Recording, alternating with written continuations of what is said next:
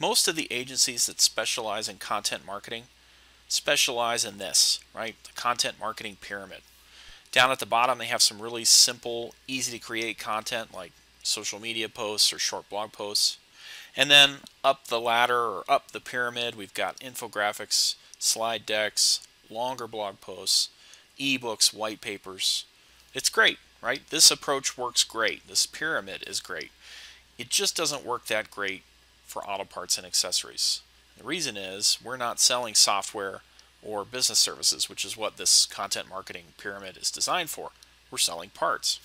So let me show you an example of a company that does a really good job with their content and their marketing.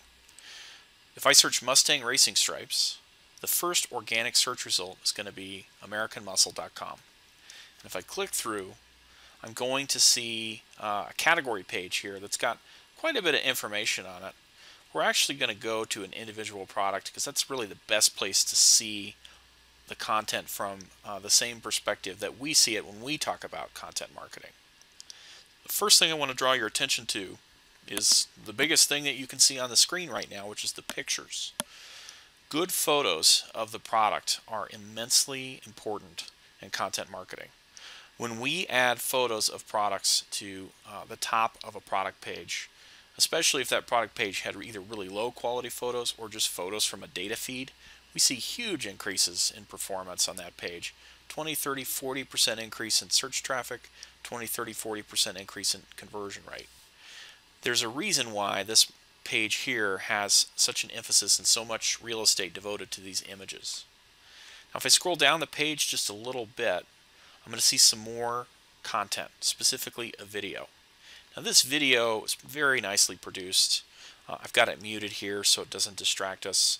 They've got a studio, they've got talent, they've got a production team. This would be very difficult for most small companies to produce. Having said that, if you scroll through the video just a little bit, you'll see there's a section where they just show some still shots of some of the different styles and color options. That's something you could very easily replicate uh, with a low budget. Uh, same thing with some of these shots of the sweeping shots or panning shots of the cars. That's something you could do with a cell phone and a steady hand. So sidebar, you might be able to make a video that's not quite as good as this one, but that's good enough uh, with a low budget. Anyway, moving on to other types of important content. We've got this product description area here with fitment, great detail about the product itself, some emphasis on uh, features and benefits. We've got a good list of everything that's in the box, including tools broken out. We've got an installation time estimate, a difficulty level estimate. This is great content for someone who has never done something like this before. We've even got links to specialized guides, including one that was submitted by a customer, which is amazing. And then if I scroll down a little further, I see some more content, only this content came from customers, right? This is pictures of people's cars, questions from customers that have either bought or thought about buy, buying, and then reviews, which are fantastic. So when you think about content marketing and you work in parts and accessories, you want to think about what American Muscle has done here.